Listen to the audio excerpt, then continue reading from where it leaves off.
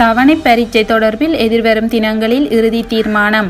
பாடசாலை தவணை பரீட்சைகளை நடத்தும் நடைமுறை தொடர்பில் எதிர்வரும் தினங்களில் இறுதி தீர்மானம் மேற்கொள்ளப்படும் என்று கல்வி அமைச்சர் அகிலவிராஜ் காரியவசம் தெரிவித்தார். பாடசாலைகளின் பாதுகாப்பு பலப்படுத்தப்பட்டிருப்பதனால் பெற்றோர் எதுவித அச்சமுமின்றி தமது பிள்ளைகளை பாடசாலைக்கு அனுப்பி வைக்கும்படி அமைச்சர் கேட்டுக்கொண்டார்.